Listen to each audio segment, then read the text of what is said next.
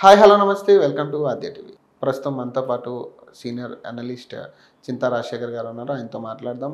ఏపీకి సంబంధించి రాజకీయ పరిస్థితులు ఎలా ఉన్నాయి?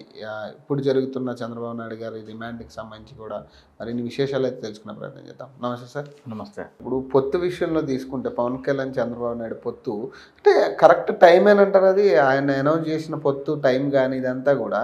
అసలు కరెక్ట్ టైం అది పొత్తేనని అసలు పొత్తు చంద్రబాబు నాయుడుతో ఎట్లా పెట్టుకుంటారు? పవన్ కళ్యాణ్ పార్టీ ఎందుకోసం పెట్టానన్నాడు? నేను మూడో ప్రత్యామ్నాయంగా వస్తానని పెట్టాను మూడో ప్రత్యామ్నాయంగా వస్తే మరి మూడో ప్రత్యామ్నాయంగా ఉండాలి మ్మ్. మరి పొత్తు ఎందుకు పెట్టుకుంటున్నావు? మ్మ్. ఎన్నికల కంటే ముందర మా తల్లిని స్టూడియోలో కూర్చోబెట్టి తిట్టించారని చెప్పావు కదా? మా కులాన్ని అలగా జనం శంకర జాతి జనం అని అన్నారు కదా. బాలకృష్ణ తిట్టాడు కదా?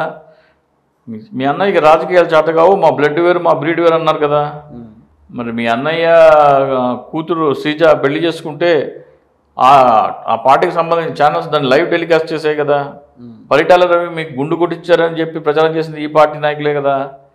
మరి అన్ని అయినా కానీ టీడీపీతో ఎందుకు పొత్తు పెట్టుకున్నావు నువ్వు. అటువంటి అటువంటి గొడవలు మీకు వైసీపీతో లేవే.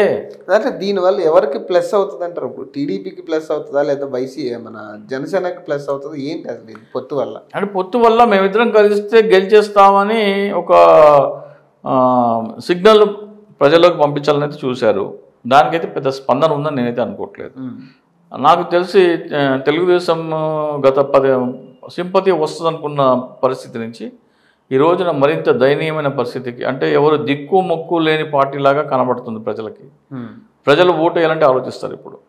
ఈ చంద్రబాబు నాయుడు అరెస్ట్ని సమర్థవంతంగా ఎదుర్కొన్న నాయకులు కానీ పార్టీ పరంగా కానీ పోరాడ పోరాట పటిమ చూపించలేదు మేము నిలబడతాం అని చెప్పలేదు. మీ నాయకుడిని జైలు వేస్తే ఆయన ఆయన కోసం మీరు పోరాడలేని వాళ్ళు మా సమస్యల గురించి మీరేం పోరాడతారు అనే భావన ప్రజల్లో ఇప్పుడు అట్లే ఇప్పుడు ఇక్కడ ఐటీ ఉద్యోగులు చేసిన ధర్నాలు కానీ ఇవన్నీ మరి ఇవన్నీ క్యాల్కులేట్ అవ్వా ఉద్యోగులు చేసింది అది. అమరావతి రాజధాని రైతులు చేసినట్టే అది.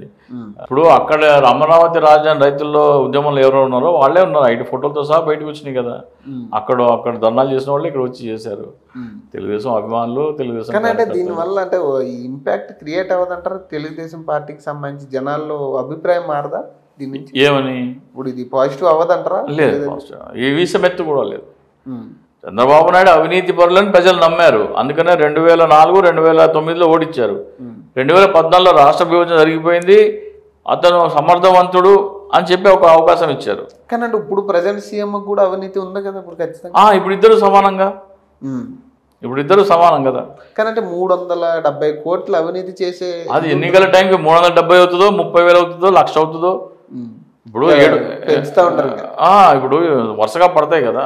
అంటే కరెక్ట్ ఇప్పుడు ఇది అంతా కరెక్ట్ అని అంటారా ప్రత్యామ్నాయ ఎలక్షన్స్ ముందు ఇంత రాజకీయం చేయడం అనేది ఇప్పుడు చూడొచ్చు? జగన్మోహన్ రెడ్డి గారు రెండు వేల పంతొమ్మిదిలో జూన్లో వచ్చారు. రెండు వేల పంతొమ్మిది డిసెంబర్లోనే స్పెషల్ ఇన్వెస్టిగేషన్ టీం అని వేశారు. చంద్రబాబు నాయుడు అవినీతి మీద ఎంక్వైరీ చేయని ఒక టీం వేశారు. ఆ ఎంక్వైరీ చేయకూడదు అని స్టే తెచ్చుకుంది ఎవరు. చంద్రబాబు నాయుడు. ఆ రోజే ఎంక్వైరీ చేసింటే ఆరు నెలలకు ఎప్పుడు అరెస్ట్ అయిపోయేవారు.